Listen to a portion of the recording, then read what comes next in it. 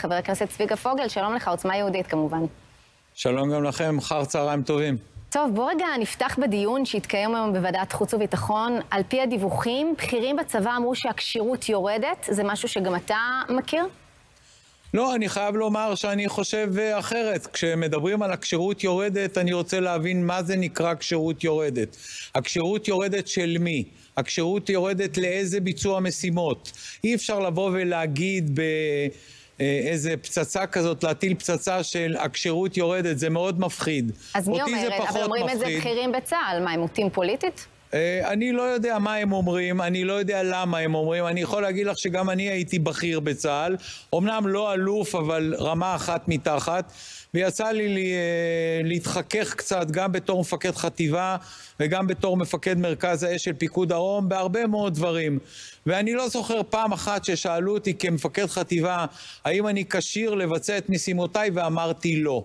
Mm-hmm. תמיד אמרתי כן, ואמרתי גם לאיזה משימות. אז אולי היום שואלים ואומרים... שאלות אחרות בצבא, אולי יש כאן עניין של ביצה ותרנגולת, אומרים, אתם תבואו, אתם תסרבו, אתם תגיעו, ואז אנשים אומרים, אה, אולי אנחנו נסרב, אולי נצטרף למחאה הזאת. יכול להיות שזה הכיוון אה, בצה"ל כרגע? אני מקווה מאוד שלא, אבל אני יכול להגיד לך שמה שקורה סביב כל האווירה הזאת, שאנחנו קוראים לה סרבנות, והיא בעצם ניסיון להפיכה צבאית, זה הדבר שמפחיד אותי. זה הדבר שעלול לפגוע בכשירות של הצבא. זה הדבר שעלול לגרור אותנו למקום שאנחנו לא רוצים להיות שם. ובואו נשים את הדברים על השולחן.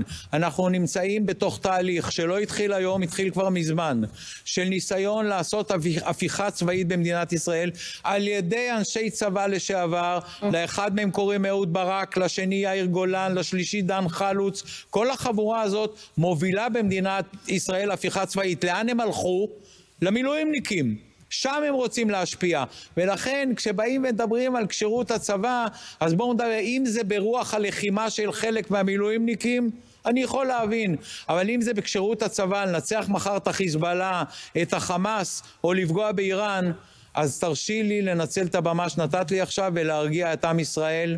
כן. מדינת ישראל יכולה להתמודד עם, עם האיומים האלה, ובהצלחה לא מעטה. כן, הביקורת שלך מופנית גם לעבר הרמטכ"ל, הלוי? לא. הרמטכ"ל הוא אה, מפקד הצבא, אה, מכין את הצבא למלחמה, על פי הפקודות שהדרג המדיני נותן לו, הממשלה נותנת לו.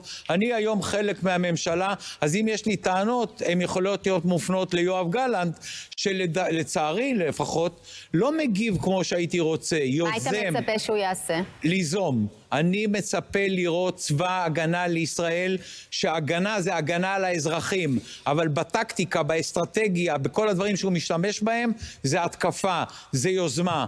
וכשאני רואה את חיזבאללה מתעתע בנו לאורך הגבול וגורר אותנו למלחמה, ועוד מעז להגיד שם נסראללה שגם הוא יחזיר את ישראל אה, לתקופת האבן, אז בואו, הביטחון הזה עלול לעלות לנו ביוקר, הביטחון שלו.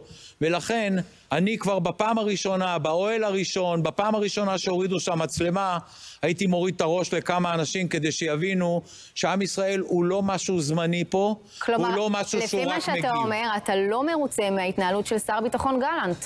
נכון. וואו. ואני מנסה להשפיע עליה בתוך הממשלה. אני לא בא לרסק עכשיו את הממשלה או להפיל אותה. בואו נעצור. זאת עדיין הממשלה הכי טובה שעם ישראל יכול היה לקבל, לפחות לדעתי. ולכן אני לא ממהר לפרק אותה, אבל האם ננסה להשפיע עליה? בוודאי. ניסינו להשפיע עליה בחזרה לסיכולים ממוקדים ברצועת עזה. כן. הצלחנו. ניסינו להשפיע עליה, לפעול בג'נין בעוצמות אחרות, כולל מהאוויר.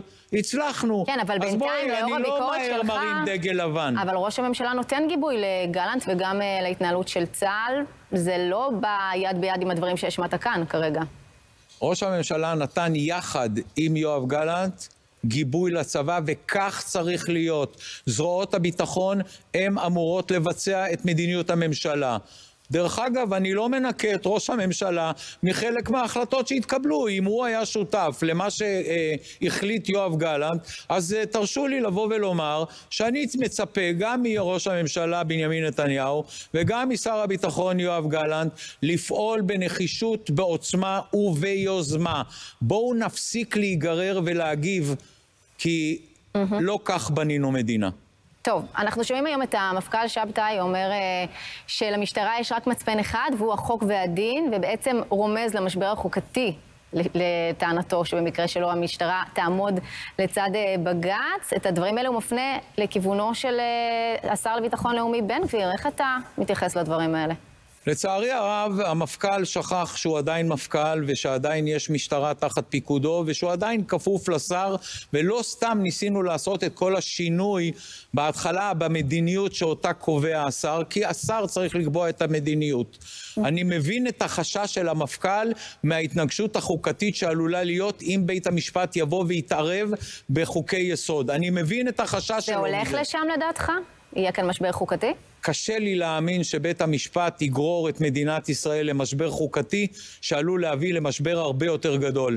נדמה לי שבבית המשפט העליון יושבים אנשים מספיק חכמים בשביל להבין, לא נגענו עד היום בחוקי יסוד, בואו לא ניגע בהם גם בעתיד, כי יש לנו כן. מספיק חופש פעולה לשפוט ולהביא okay. אוקיי. לידי ביטוי את היכולות שפיטה, גם בלי לגעת בעילת הסבירות, שדרך okay. אגב, כן. אני אגלה לך סוד, לא מלמדים אותה באף אוניברסיטה. אף אחד לא למד סבירות יותר טוב ממני. קשה ללמד מה זה בדיוק אה, סבירות. טוב, אתה יושב ראש הוועדה לביטחון לאומי, בינתיים אנחנו שומעים על עוד ועוד מקרי פרוטקשן. אתמול אה, חברת ביטוח גם הודיעה לבעל עסק שהיא לא מוכנה לבטח אותו לאור ההשתוללות של הפרוטקשן בצפון. אתם הבטחתם ביטחון, בינתיים זה לא קורה. נכון מאוד, הבטחנו, ואני אומר לך שבסוף זה כן יקרה, כי בסופו של דבר יש פה תהליך שהחלק הראשון שלו היה חקיקה, החלק השני, ואני מקווה שתעזרו לי בזה, זה לגייס אנשים נוספים למשטרה, כי במשטרה חסרים היום 5,000 תקנים. אבל בינתיים בעלי עסקים פשוט קורסים ומתמודדים עם התופעה הזאת. אתה יודע, ייאוש מוחלט שם בצפון בימים אלה. ולכן מה שאנחנו מנסים לעשות היום זה לגרום לבעלי העסקים לקום ולהגיד, אנחנו לא משתפים פעולה עם הפרוטקשן.